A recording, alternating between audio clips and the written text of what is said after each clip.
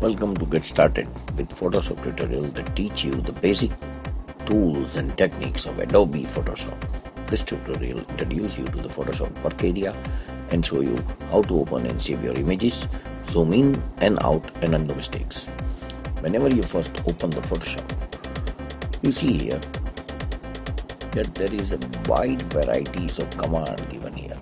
First, check the workspace. It should be essential default. If it is not there, tick on the default. So essential default. Okay. Now first part we, we just try and learn here how to open an image in Adobe Photoshop. Go to the file command.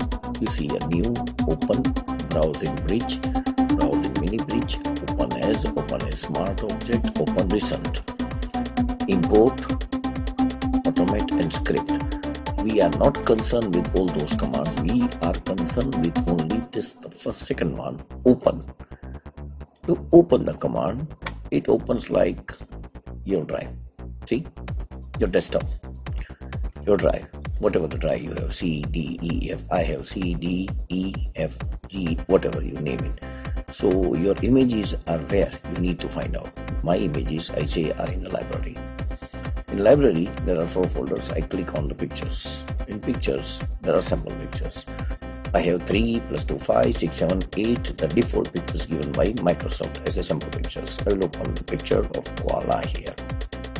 If I want to open two files together, just press Ctrl and select another one. If I want 3, then select another one. If I want 4, press Ctrl and select another one but at present we are concerned with only one file that is koala. Double click the file or press open. You will see that your file is open. Now when the file is open here, again you will see the array of commands here. See the tools, wide varieties of tools, move command. You will see square, polygon, magic wand, crop tool, eyedropper. Later on, later on, later on. Uh, no hurries, no hurries. Just pay attention. Just pay attention. You have a layer here. Now, Photoshop is actually about layers, brushes, mask, and all those things. So your image is right here as a background on layer one, and you can see from this particular size that it is locked. Okay, now what if I want to change the color of the, my image? Go to image. Again, you see the area of commands here. Don't worry, we'll come into later. Adjustment. We have brightness and brightness and contrast. We have levels, curves, exposure, vibrance, hue, and saturation here. Now again, you have wide varieties here. You want to change reds, yellows, greens, cyan, blue, magenta. We go to the master only move the slider here, you see the change in the color of the image. See? The image is changing colors. If I want to increase the saturation, if I want to decrease, it depends on me. If I want to increase the lightness, decrease the lightness, it is up to me. When I am satisfied with all those things, press OK. The image is changed now what? After changing that part, I am not happy with that part. Do I have any option to come back? Yes, go to edit, step backward, back to basics. Somehow your image is open and somehow you click one particular type of command here or particular type of tool here and you move the tool on the image. Your image is damaged. What now? Nothing else. Go to back again if I draw edit back and can you see it alter control Z? Or we say control Z and bam the part is gone. If I don't want to save my image or if I'm happy with that part or later on we'll learn how to save. So I'm closing this. Do you want to save the image before closing? If I press that save button then my original image of koala is damaged say no okay so that was how to open an image we move to the second part that is so we have a new file here You see again lots of tools and commands. We start with the name. Say my first image. Okay. Presets. Photoshop gives you 1, 2, 3, 4, 5, 6, 7, 8, 9, 3 plus 3 plus 3, 9 presets ready made if you are not using those presets you can change your size manually here. Size is given in pixel inches centimeter millimeters points picas and columns. I say you stick to pixels and inches. Pixels is the, for the web version inches are for print version. Say we start with a very small size we say 1000 by 1000 pixel. Okay now this 1000 by 1000 is the standard instagram ratio 1 is to 1 resolution 72 it is okay. Pixel by inches no need to change that part here. Change if you want to change here but do try to understand that uh, it should go inside your head that do whatever you are doing it should you should understand what you are doing. It might be very wrong type of thinking of that. Say color mode RGB now there are it gives you bitmap grayscale grayscale stands for black and white RGB colors red green and blue CMYK these are the lab colors laboratories or the printing lab use that colors and there are again lab colors colors are given in 8 bit 16 bit and 32 bit now it depends what kind of image you are dealing with, what kind of camera you are dealing with. If your camera gives you 32 bit, go to 32 bit. If it gives you 16 bit, go to 16 bit. I'm not sure, I stick to 8 bit. Color profile. Again, the wide varieties of color profiles are given. We, we say don't go to that part. Okay. Now everything is done. Background, what kind of background you need here? See, if you want white, if you want color background or and if you want transparent. Now first we take white background and see what happens okay so 1000 by 1000 pixel our image is open a document is open. You can create anything here. Now i'm not satisfied with that part. See i go to image size. If i want to change anything again i need to change. Say i'm not satisfied with 1000 by 1000 size and I want to change the size here. So I will type here 2000 by 2000 again see it will increase that part. And if you see that clearly that I have I zoom in and I zoom out how I did that part see here. Zoom in zoom out zoom in zoom out and can you see here in zoom in that control plus plus. Zoom out control plus minus. You can use that shortcut command. So at present i want to now what about the transparent documents i'll close the document. I don't want to save here. Again i'll take new document. Same thing say 1000 by 1000 everything is okay 8 bit color. Instead of white I will take here transparent and see what happens see here? Can you see those white and black checks here? It means there is nothing there no color nothing.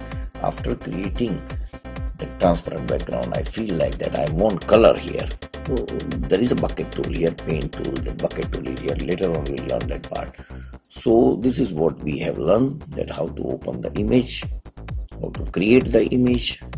After opening the image now we take the tool of a little tool of the menu bar. We open this particular image that sunset is good. Okay. So we learn how to open the area. Now we take the tour of the work area. Now at the very top it shows file edit image layer type select filter view windows and help. File we have taken that part. We go to edit menu. So here copy and cut copy and paste. Fill fill what color? Mm, white. Oh you are saying black. Fill that color. What my image is damaged? My image is damaged? No I have a command here. Edit step back again I will remove my own image here so then edit fill view taken brush preset and all those things. And we go to mode. You have grayscale RGB color you have selected. So these are the colors you are operating with. In adjustment you go to brightness and contrast. You settle the brightness of the image. See? Depend upon not satisfied. Cancel. Back to basic levels. See? depend what is your choice? Exposure curve vibrance color balance. We take here. We see here uh, I found I want to increase blue. I want to increase magenta. I want to increase red. I want to increase yellow. It depends what kind of part I'm doing this so again I close the image and let's see where we are. Now zoom and pan so if I open the image again I'm opening the image. Right oh now I want to zoom in. So we'll go to view and zoom in. The image is getting bigger and bigger. See here if I want to see actual pixels. Oops. Oh what my image is damaged. No I'll step back here now when we say actual pixel here so these are the actual pixels and if I want to see the print size now this is the print size of the image. So what we learn? Now saving your work. Say I will make second copy of this image. Now I'll go and take save my image. Here I'm saving my image in Photoshop Adobe gives you wide varieties of save commands if you want to work on the image later on that is if you are saying for say for next day you are busy you don't have time you have done some work and now you want to save that work and later on you want to come back again and you want to start with the scratch. Okay. Then use i say you select psd that is photoshop psd document. Now what PSD does. PSD is a standard Photoshop format. When you save image as PSD, it will save as layers here. At present, you have two layers here. One and two. You have background and you have background copy. If I save this image, if I save this image, saved but it goes with two layers. Okay now if I go and open so now I have two images. One the original see if I open this image I have only one layer here. And the second one if I open this image see I have two layers here. This is one. You see that layer one see here. So I have two layers here. Now instead of this first layer if I put here some color say black. Okay. So now you have one image of black background copy and one is the original one. And if I save as PSD saved okay so what I'll open that part again open. Open penguins. Our image is here but if I open that image then see again I'm getting my image and the black background is still there. If I don't like I'll delete that image. I'm getting again I'm getting back my image. So this is how you work in a document. Saving as JPHD you learn that part. Now say you are happy with your work whatever work you have done. Uh, I'll do certain adjustments say I will convert this image into black and white. Okay. Then I will adjust something like brightness and contrast. Reduce the brightness here. Increase the contrast or whatever. So then I will go and go for some filters here yellow filter. I want to increase the intensity of this filter and I'm happy with my image. This is the work I have done. Now I am happy with my image. Hmm? and I want to save my work. Go to file save as. Now this time the same image same title penguins but we are not saving in psd in fact we are in jpg now we put jpg jpeg it is known as. Jpeg you have three options here. Jpeg jpg jpeg and jpe. Jpeg 2000 and jpeg stereo. Our target is the first one. All the images are saved in this format. And now already I have one image of penguin. If I will press the save button it will ask me to overwrite. See here want to replace it if I say OK then the original image is replaced with the color image which is behind right here you can see I'll say no we'll change the title so I will write here penguin 2 now penguin 2 is different than penguins. Now if I save this image.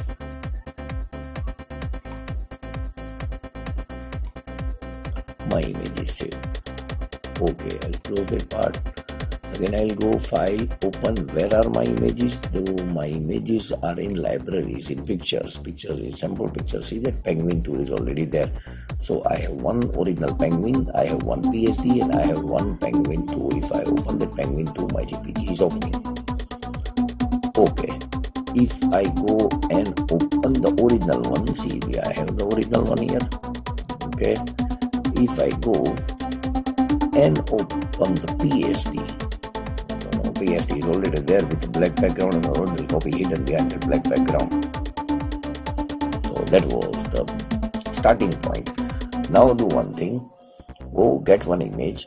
Try to learn open how to open the image, how to close the image.